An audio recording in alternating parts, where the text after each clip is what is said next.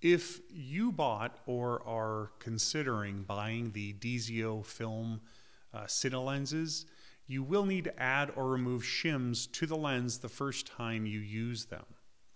Prior to buying the DZO lenses, I was worried it would be too technical and almost passed on them. Uh, if you're in the same boat, I made this quick video to answer some questions. If you have the DZO film lenses and a Canon C300 Mark III and want the quick answer to how many shims to add, the answer is six shims that add up to 0.53. I'll put a uh, still on the screen with the combination I use. If you want to know more, I'll walk you through the steps. Before you begin doing anything, you must have a notepad and a pen next to you. Also, before you begin, go ahead and watch the manufacturer video on YouTube from DZO Film where it explains the concept. It's only about a minute and 14 seconds long. Watch it and have it handy when you open the lenses for the first time. I'll put it in the link uh, in the comments below. No, you do not need to be great at math and you do not need to be a whiz with camera equipment to do this. When you get your lenses, just bring up this video and the DZO YouTube video on your computer for quick reference. Let me also say that if you have an external monitor that has peaking to show when you're in focus perfectly, it can be very helpful. Um, also, a camera with a magnifier is handy for focusing. Okay, you've watched the manufacturer video, you have a pen and paper ready. Now, uh, step one is to print off a Siemens star chart and tape it to a wall. Set up your camera tripod about four feet nine inches away from the Siemens star taped to the wall. You can be approximate with how far you are from the chart. For the next step, go ahead and take your lens out, find the long screws, the included mini screwdriver, and one of the tins that actually holds the shims. Be careful when you handle the shims not to break or bend them. Some of them are thinner than paper. Take a quick inventory of the shims and write down what individual shims you have on hand. The lenses also come with several shims already on them. Take these preloaded shims off of the lens and add them to your inventory list. Once all the shims are removed and you have written down your inventory, you are going to start. Your lens has no shims on it, so go ahead and decide how many shims you want to put on the lens for your first try. Just choose a number, maybe four shims, uh, a couple 0.1 and a 0.02 and a 0.05. They're all different thicknesses, so take notes as to how many shims and what thickness you add or remove each time. Once you've added some shims, go ahead and screw the lens back together. Put the lens on your camera. Now turn your camera on, make sure your iris is wide open to 2.8 and focus on the Siemens star chart. I'd never used one of these, but it's a nifty little graphic. As you start to focus on the chart, you'll see the lines blur and unblur and even look like they're changing color at times. Once you see four little arrows or stars appear on each side of the circle, uh, you'll know you're in focus. Uh, it creates sort of a north, south, east, west star around the circle.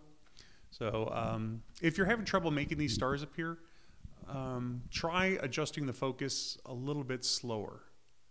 When the lens is just about in focus, those little arrows, stars will appear. Or if you have focus peaking, just use that to get the best focus. Look at the numbers on the right side of your lens and get ready to write them down.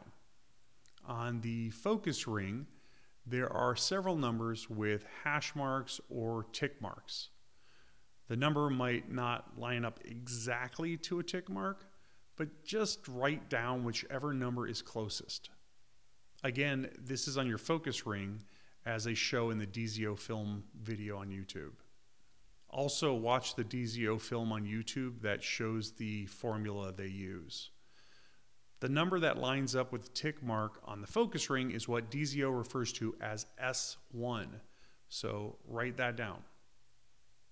Next, zoom the lens out, making sure you don't accidentally uh, adjust your focus ring.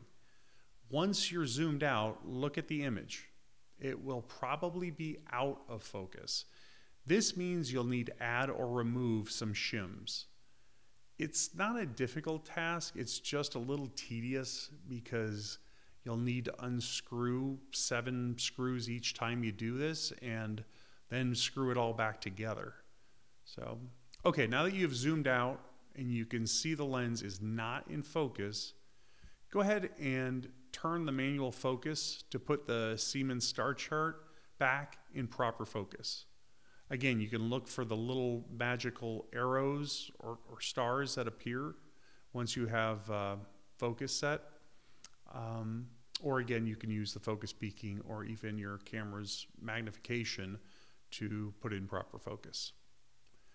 Once you've refocused on the zoomed out image, write down the focus number that lines up with that little tick mark on the lens. This number will be S2 according to the DZO YouTube video formula.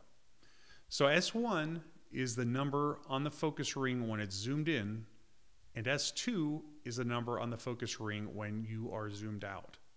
The goal is to get S1 and S2 to be the same. This means that the focus will stay the same zoomed in or zoomed out. Adding additional shims or removing them will make the lens parfocal. So at this point, you have zoomed in, written down the number, uh, then zoomed out and written down the number. Now go ahead and add another shim of any size, maybe even two. Uh, just make sure you write down what you add. Then screw it all back together and do the same thing you just did the first time. Zoom completely in, focus perfectly on the chart, zoom out, and see if the chart is still in focus. It probably won't be the second time. Write down the number that matches up with the tick mark when it's zoomed in, and write down the number that matches up with the tick mark when you zoomed out. Again, those numbers are written down as your S1 and S2. Write them right under your previous numbers so you can see if your focusing range is getting smaller or bigger. Look at the uh, distance between the two numbers. Did it shrink? If it did, you're heading in the right direction. So if you added a shim, then you can keep adding. So if you are considering buying these lenses, take the difficulty of installing them off your worry list. It was pretty simple, it was just a little tedious. This video is not meant to be a review, but I will share a comparison video on my channel to see what you think of the DZO 20 to 55 millimeter cine lens compared to the Sigma 15 to 35 still lens.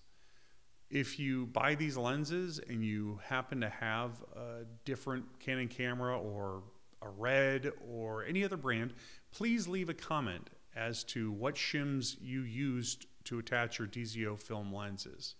This video is just to help ease the anxiety for first timers like me about how easy the process actually was, and I learned something. So I hope this was helpful. We'll see you soon.